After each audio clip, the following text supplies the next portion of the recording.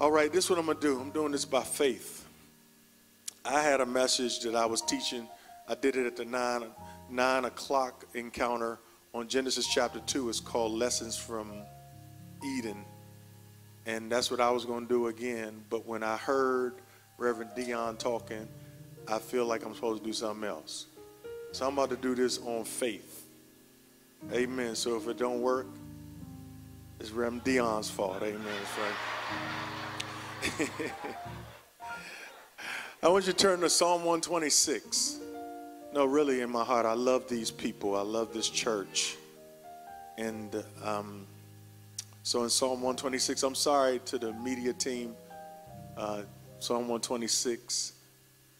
Uh, I do think that the message from the nine o'clock experience and encounter would be worth you purchasing. I don't. It, I'm not. I don't get anything from it. I'm not trying to trying to hustle you.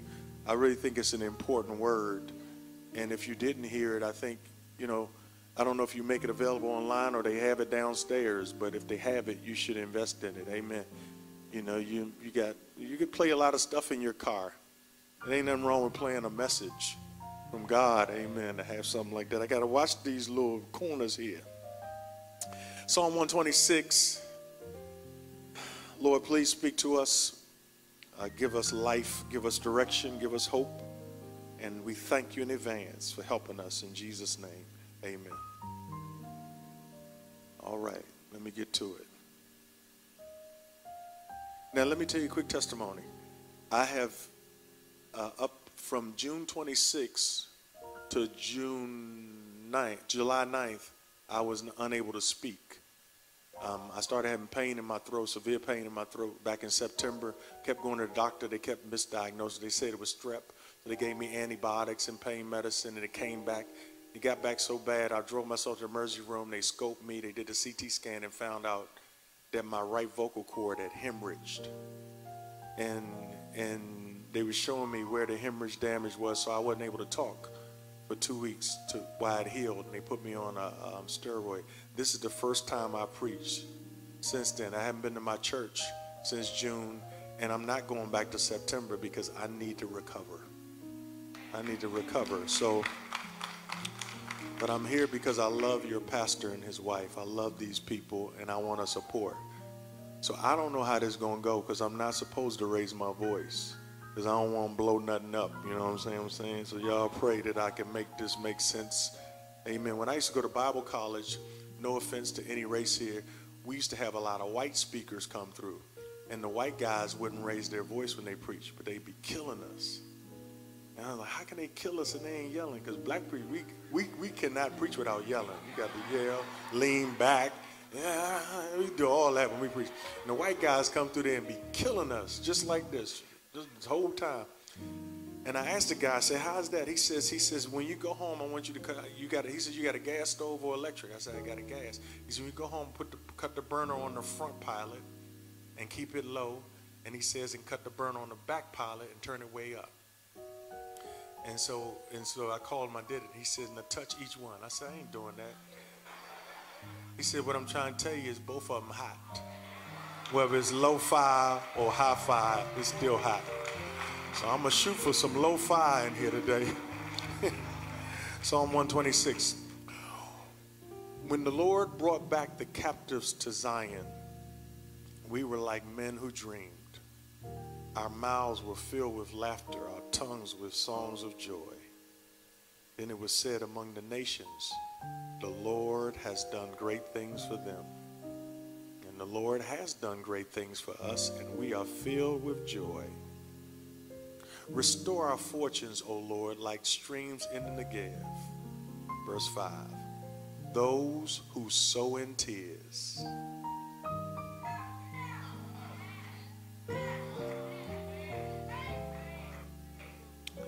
Those who sow in tears will reap with songs of joy.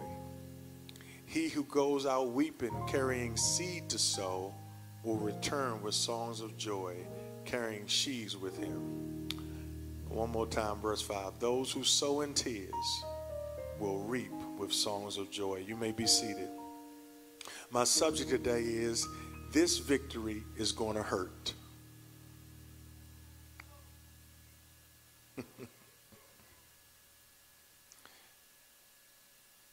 I feel like I'm on a new assignment to talk to somebody who's been crying. And you've been crying and you've been crying because you're hurting. And God says you're going to sow in tears, but you're going to reap in joy. Yeah. Yeah. The goodness of God is so overwhelming and so consistent. God is so relentlessly good that oftentimes we take his goodness for granted. In fact, I believe that God has been so good to us that many of us are spiritually spoiled. When you really think about how great God has been over the course and the balance of your life, there is nobody looking at me or listening to me right now that can't agree with this statement that your good days outweigh your bad days. Most of us struggle through seasons. Your whole life ain't been bad. But when it is bad, we act like it's bad. We get a flat tire, we out in the middle of the street just binding the devil. Look at Satan. We don't take care of the car, we don't rotate the tires, we don't check them when they ball. We don't thank God for the seven years that the tire was running with air in it. We, we rebuke the devil the day it gets flat. How about thanking God for the seven years the tire was rolling? How about thanking God for the 12 years the wash machine was working? How about thanking God that you ain't had to replace your iron or your dryer or your stove or your refrigerator for years? Instead of rebuking the devil every time something breaks down, Lord, I thank you for how long it was working. Your grace has been amazing. You have to look back over your life and begin to thank God for what He has done and how good He has been. Our God has been good to us. Our praise will never catch up to His goodness. Your praise will always be in the red. You know why your praise will always be in the red? Because the Bible says in Philippians chapter 4, verse 19, that our God shall supply all of our need according to his riches and glory by Christ Jesus. Now, let me explain that. The word need is singular in Philippians chapter 4.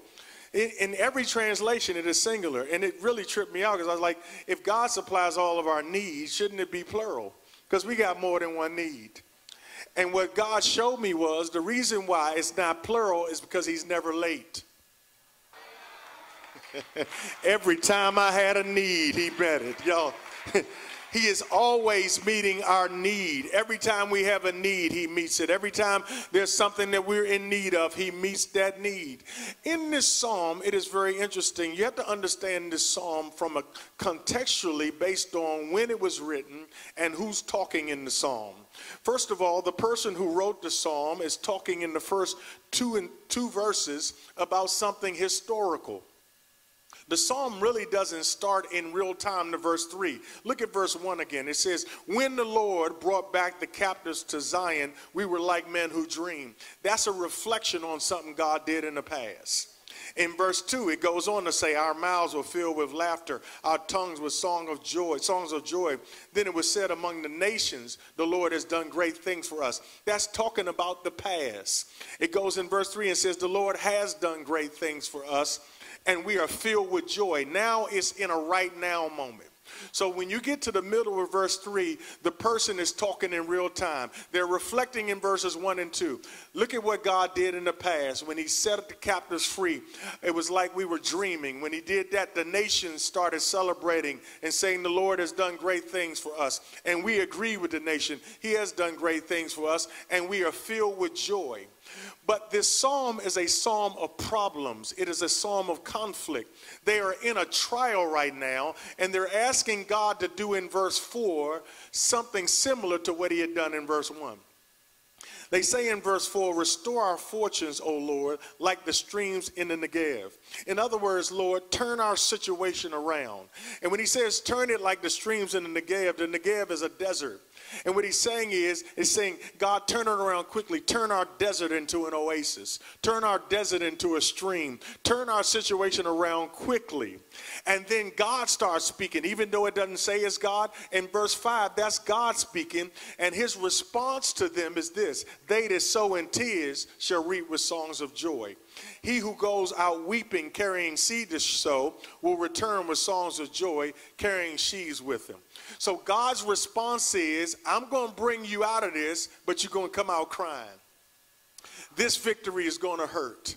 Now, why is that so important? It's important because that's not how he brought them out the last time. He didn't really bring them out crying the last time. He brought them out quickly. And a lot of church people get confused because we think that if God is good, we should never experience bad. But a lot of the bad that we experience is a part of our equipping for our assignment because you can't help who you have never become. The incarnation of Jesus Christ theologically means that God became man, but practically it means that God became those who he would help. Now he knows what it means to be sick. Now he knows what it means to be tired. Now he knows what it means to be tempted.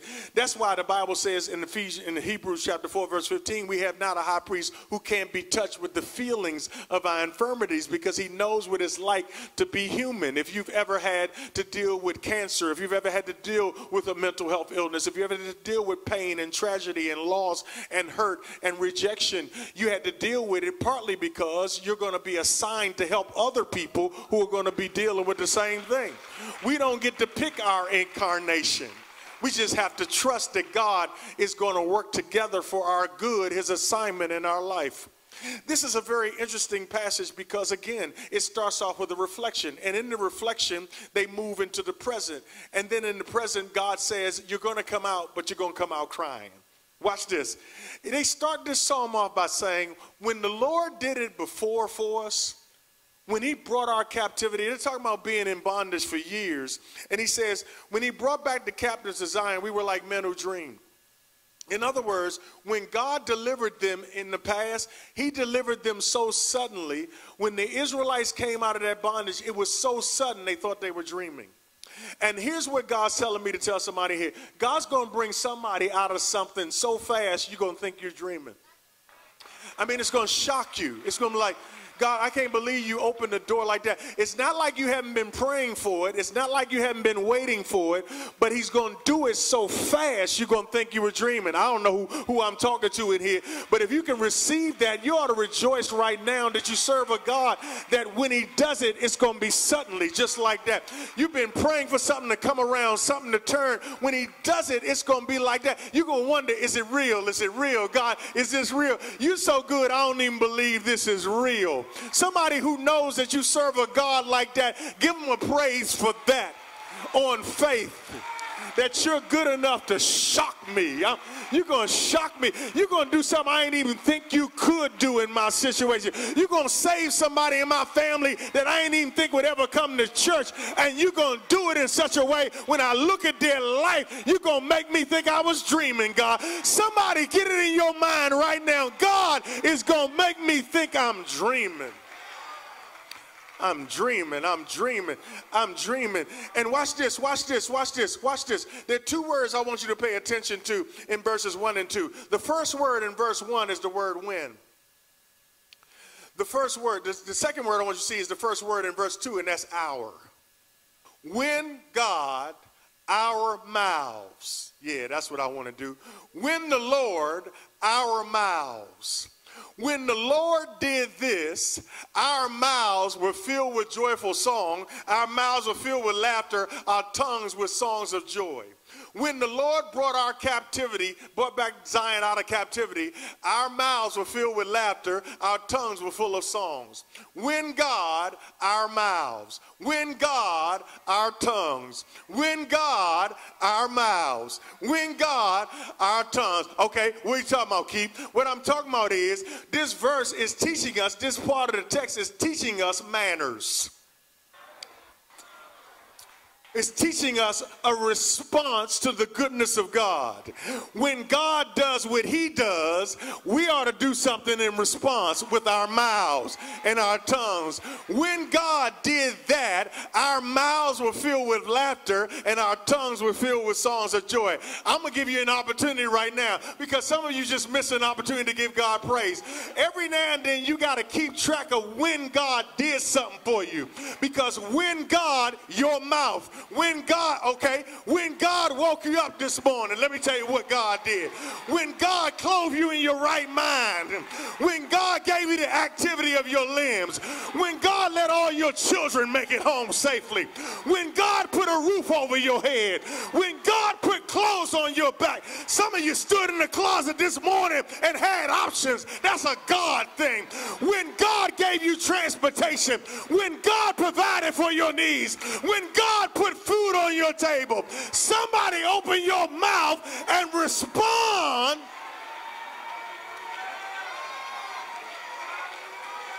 when God made a way out of no way, when God didn't let me get A's, when I had unprotected sex and God, y'all ain't gonna help me here, still brought me out. Is there anybody here that has a praise for a God who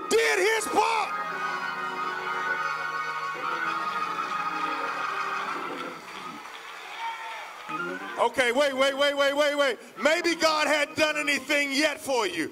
Maybe you can't remember what he did. Maybe you're suffering with a little dementia. Maybe you're having a little Alzheimer's moment. I got you. I'm going to give you another chance to give him praise. How about this? Since you can't remember when he did something, why don't you praise him for what he's going? This one is in advance. I'll praise you on credit. I'll, praise you for what's coming. I ain't got to wait for a win. Now, right now, faith is the substance of things hoped for.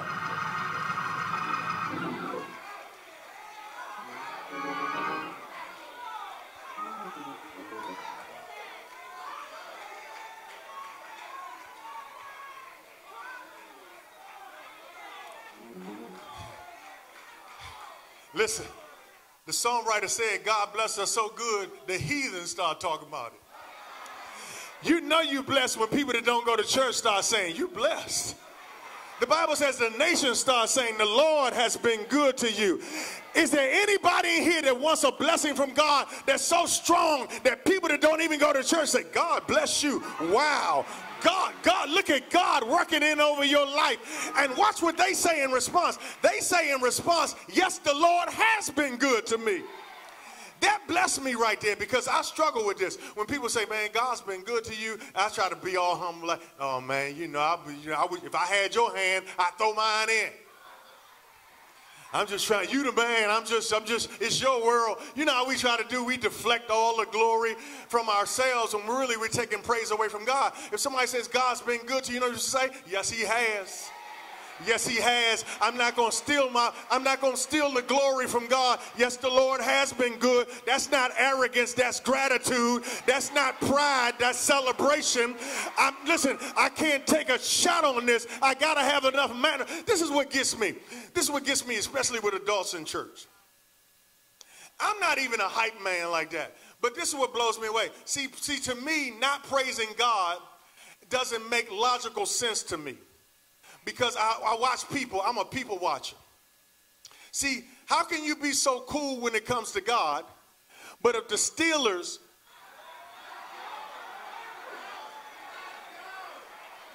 beat the Ravens, you waving a yellow towel and yelling and high-fiving people you don't know and saying, that's my squad, and doing all that and making all that ruckus and, and wearing black and gold and representing a team that didn't wake you up this morning, didn't die for you, ain't never made a way out of no way for you. But the God that woke the team up, the God that can shut the whole universe down, has done something for you and you can open up your mouth. And then what gets me some of you have children who are ungrateful. How many know what it's like to have a child or a grandchild that's just ungrateful?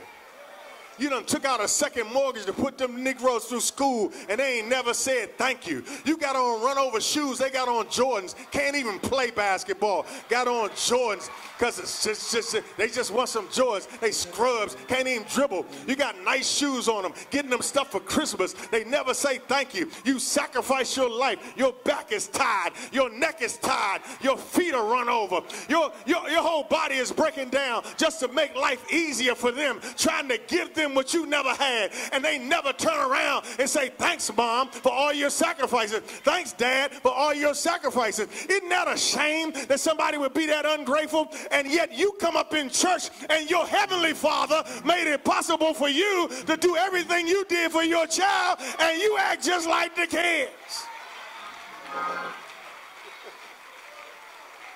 Oh, I gotta calm down. I gotta calm down. Hey, calm down. Let me calm down.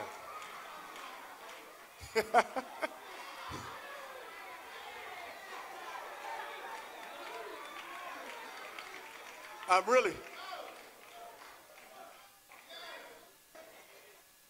The songwriter said, God, you had us dreaming. You had us thinking we was dreaming you was so good. And then you had the heathen. This was trip. This was trip, right? The nations that said God was good to them were their enemies. Woo! He said he'll prepare a table before you in the presence of your enemies. I know, I know it ain't right, but I like the food tastes better when I eat it in front of my haters.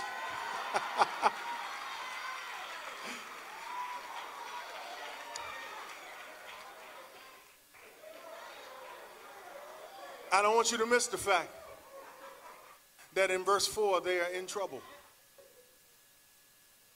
He says, We reflecting on what he did in the past. That's how you feed your faith.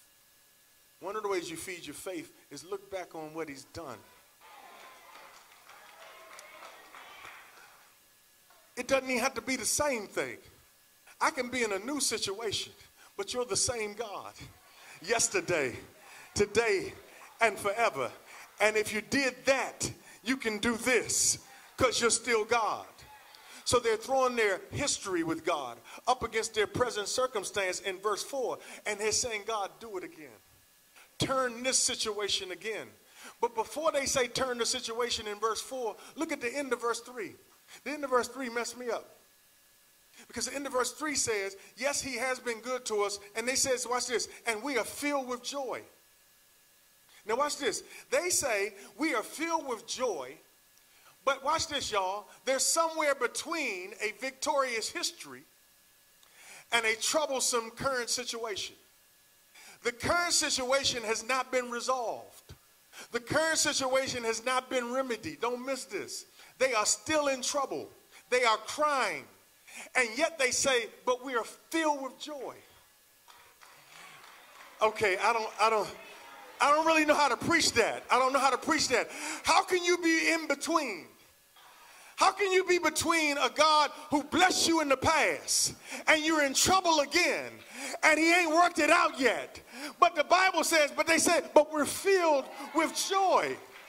Does anybody understand what it's like to be not there yet and it ain't over yet and it ain't fixed yet but somehow on the inside, I can't even explain it because what's going on inside of me doesn't match what's going on outside of me.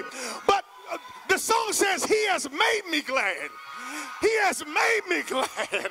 I will rejoice because He has made me glad. It's a joy that confuses the enemy. Like, how can you be rocking and trusting and worshiping? And see, see, some of y'all, see, some of y'all, you when you come to church, see, I'm, I'm gonna give you a little churchology. Some of y'all are under the impression that the people who I know they're getting on your nerves because you you came to spectate and they keep getting in your way when they stand up because you you trying to see. You ain't come to you ain't come to worship. You came to observe. So every time they stand up, they're getting in your nerves. I know they're getting there. They should have warned you. They should have warned you. They should have warned you when they came in, like, I'm that I don't care person. I just want you to know I don't care what you think about me. I don't care what you think about me. I done been through too much in life to be studying you and worrying about you. When I think about the goodness of Jesus, forget that. When I think about the dirtiness of me, when I think about everything he brought me out of, when I think about stuff he delivered me from, when I think about what could have been and what should have been and what would have been, I will get up in your face. But what you have to understand is everybody, see, a lot of church people think people standing up because they got a raise. You think people keep popping up because they got a raise or they had something good happen to them or something great happen in their life. I'm going to tell you right now, the majority of the people that are popping up are popping up and stuff's popping off in their life. They got trouble on every side. They got drama in their life. But the Lord is my shepherd. And though he slay me, yet will I trust him. This thing is real. It doesn't have to be good on the outside. I got joy before the situation turns.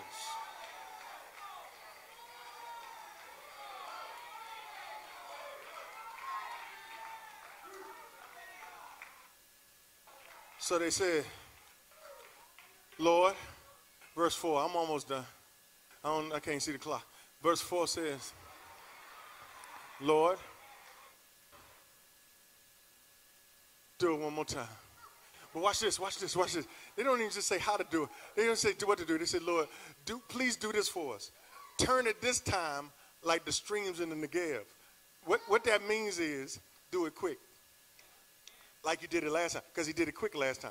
It was like it was like they you know when I say quick, y'all understand? You've been waiting, you've been waiting, you've been waiting, you've been waiting, and then bam, it's like it's over. You mean we ain't gonna fight no more? You, you, you understand what I'm saying? Like you mean you, you mean we ain't gonna be arguing like this no more? Like it's over? Like I have trained myself to deal with this drama. I've been working all my life trying to manage this, this over. You, that's how he did before. So they said, Lord, please turn it like that. And here's what God says. He says, you're going to sow in tears. This time it's going to hurt. Ooh, that's some that's some tricky theology right there because we say you can't do that, God. You go, you see, see what we have to understand is is that God is not just concerned about delivering us. He's concerned about developing us.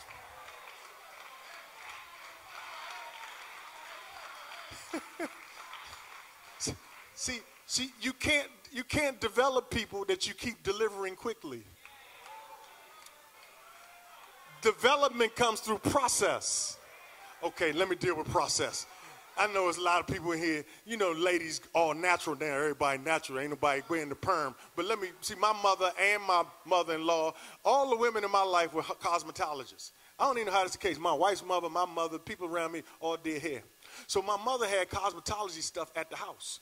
I grew up around it. So she to have perm around the house. So when I was a kid, because my stuff wasn't curly and nice, I would, you know, just experiment. I threw some band two up in my head one time. It's called some band two. Cause I wanted that joint to lay down. You know what I'm saying? I wanted to lay down because it was like this. My head would be like this, like salute black man with bald fists. I want to lay it down. So I put that, I put that perm on, right? And I put the perm on, it was white and it smelled bad. And I put it on and I left it on. I don't know. I, I remember time I said, I know you're supposed to leave it on. I don't know what you're supposed to leave it on for 20 minutes or 30 minutes or whatever. But I figured mine was so nappy, I doubled up on the time. It started burning. I started fanning my head.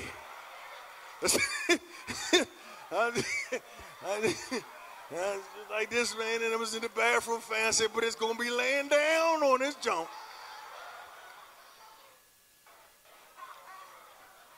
What I learned was, what I learned was that fire was part of the process to straighten my hair out. That it wouldn't, that without that fire and them chemicals, that fire had to hit the hit the coil and straighten it out. You understand what I'm saying? And so what I realize is that God is like process. God works like a perm. I know you don't like that heat. I know you don't like that fire. I know you don't like that burn, but he can't straighten you out. You, he can't straighten that mess out until he.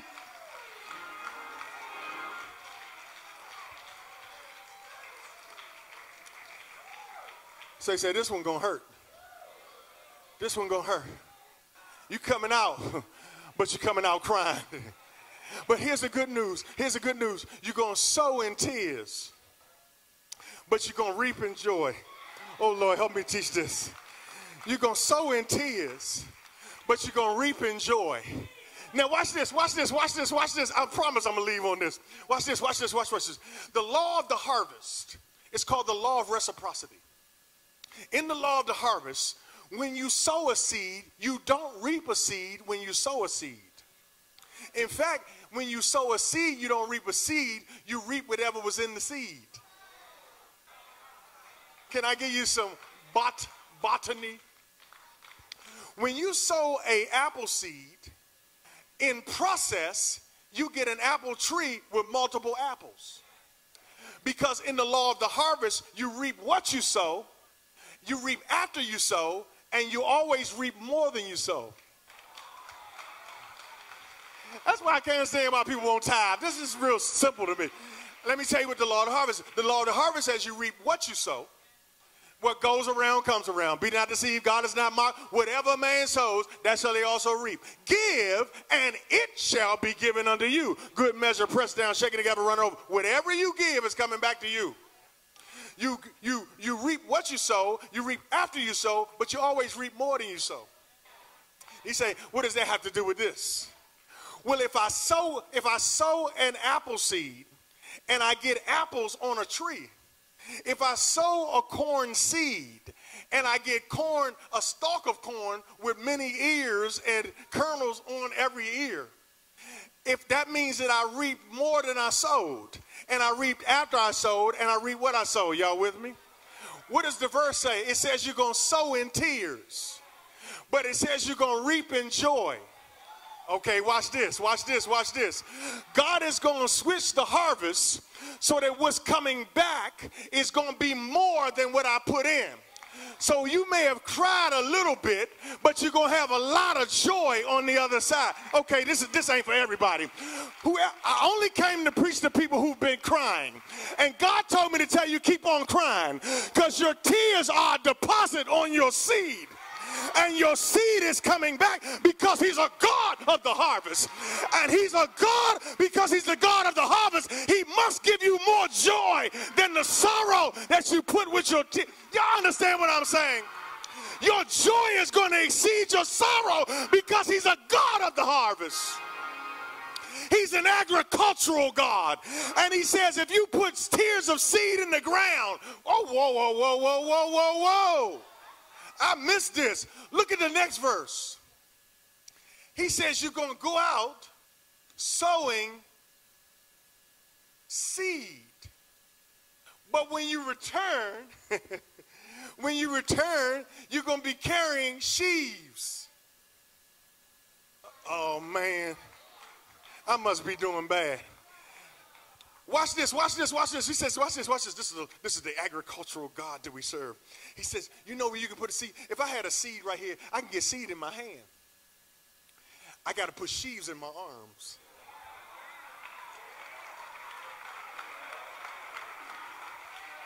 If I could hoop, I would say, what's coming back on the other side of your pain is far greater and far bigger than everything you're suffering. You think your God will let you cry for nothing? He's got your tears bottled up in heaven, and He is on your side, and He will make sure that every tear you cried is going into your seed, and you're going to have to carry out what you're carrying out of it with your arms. Here it is. Give me this. Um, I need Psalm 56. I'm going to close with this. Psalm 56. That's it. I'm going to read this and I'm going to go to my little seat and I'm going to leave y'all alone. Psalm 56, verse 8.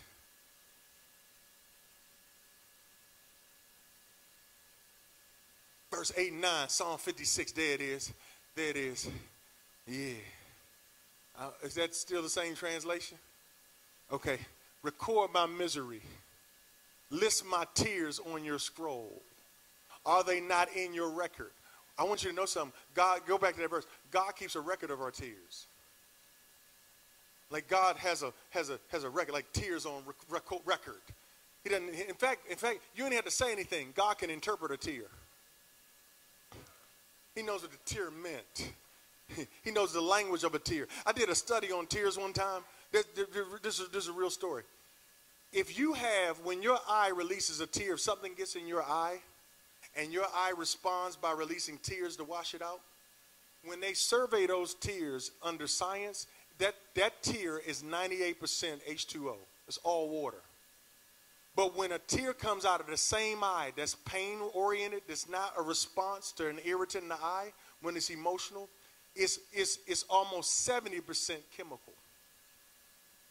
In other words, the tears have toxicity and pain in them.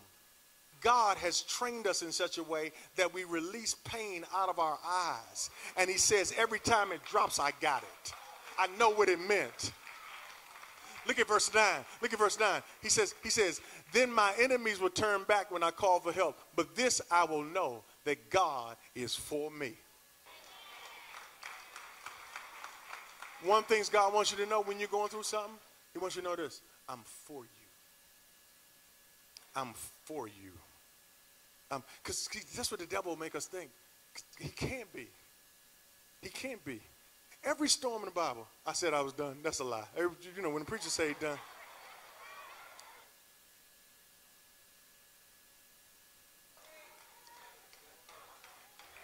Satan, Peter, Simon, Peter, Simon, Peter, Luke 22, 31. Satan has desired to have you that he may sift you like wheat. Satan wants you that's respect. That's spiritual respect that Satan wants you. That Satan views me as his enemy. That's spiritual res- spiritual warfare. Spiritual warfare is supernatural respect. we don't look at it like that. Watch what Jesus says. I would think Jesus, you love Peter. You, Jesus said, but I ain't gonna let him do it. I ain't gonna let him lay one hand on you. I will not, I will bust him in the face. Here's what Jesus says. I'm in Luke 22, 31. I know I'm been all over the place. He says, but I pray for you. Prayer? No, Lord, it's fighting time. You know, Peter, he will fight. You can pull a knife out. Watch this. He says, I prayed for you, not even that Satan wouldn't attack you. You know what he said I prayed? I prayed that your faith wouldn't fail. Woo. You mean what's precious to you, God, is not my health, not my money, it's my faith. I want my back to stop hurting. I want the pain to go away. He says, I ain't even watching that. I'm, i got my eye on your faith. I got my faith. I got my eye on what's eternal because I got a plan for this. Watch this. When you are converted, when you come out of it, verse 34 says, I want you to go strengthen your brother. Y'all missed it again. You missed it again. See, I, I see Satan means it for evil. I got a good plan in mind. I got it's gonna hurt you. In fact, you're gonna cuss people out, say you don't even know me. But I'm gonna I'm gonna still use you because I oh God, thank you. I know because you know that same night Peter said, Lord, you can depend on me. I ain't you must be talking about one of them. Jesus said in the same passage, before the cock crows at night, you're going to cuss people out saying you don't know me.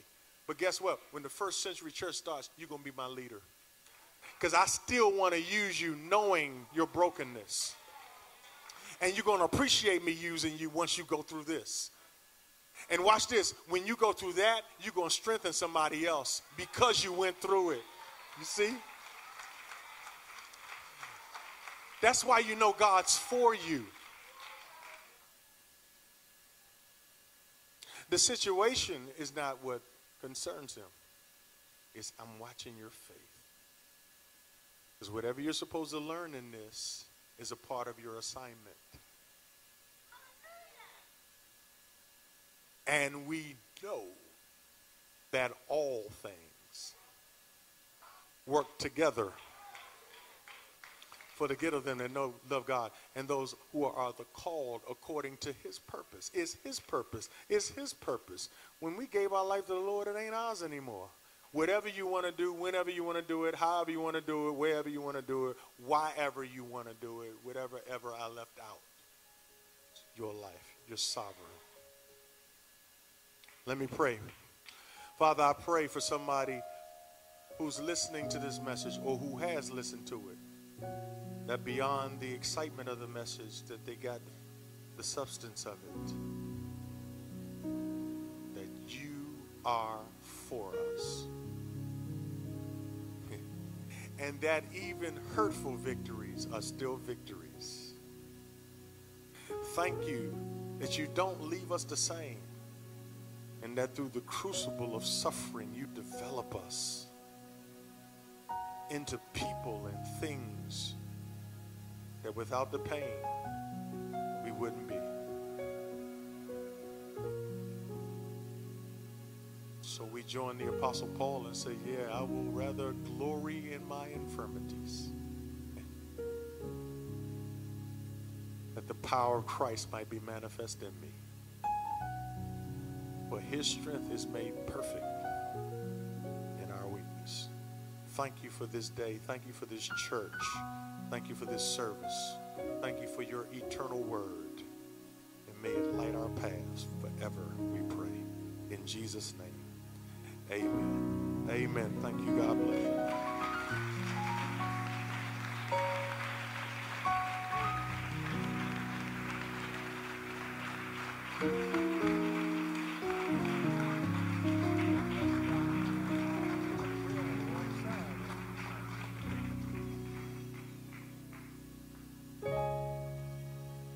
Give it up for Pastor Battle one more time.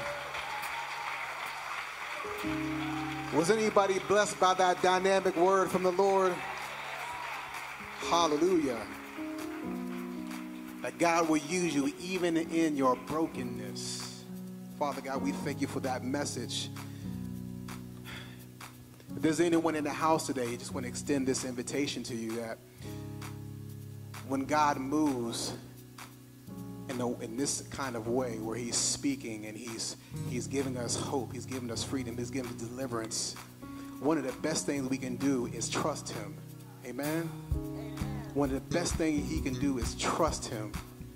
And so today I just want to give you guys an opportunity as the deacons and the ministers come up front. This is a great opportunity to trust him with your life. Amen? One of the best things that you can do is trust Jesus as your Lord and Savior. Amen. So can, can we just open up the doors to the church? Amen. Hallelujah. If anyone is thinking about having a relationship with Christ, this is your opportunity. We want to welcome you. We want to be your church family. We want to put our arms around you. We want to tell you we love you. Amen. Amen. This is a great opportunity right here and right now.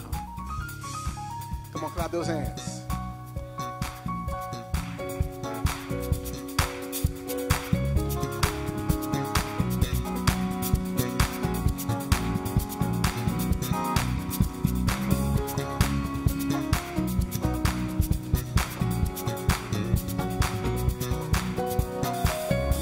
Your moment right here. Come on, you know you've been going through a process. And God says, I want to meet you in the process.